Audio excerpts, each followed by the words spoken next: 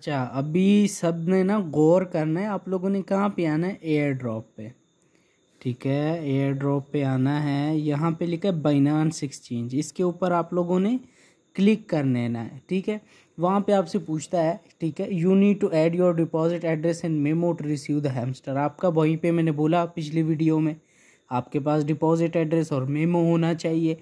Yes I have it आप बोले, भाई हाँ मेरे पास है।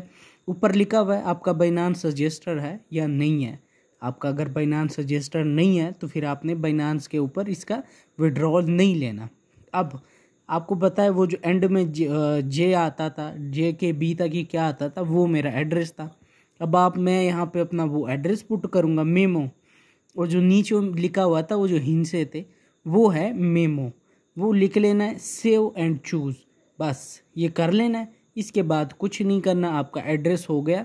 लेकिन ध्यान से चीज़ें सही लगानी है, गलत लगा ली, फिर आपका प्रोग्राम बढ़ जाएगा। इस तरह ओके एक्स का भी है, मैं आपके साथ वीडियो शेयर करता हूँ उसकी भी, ठीक है?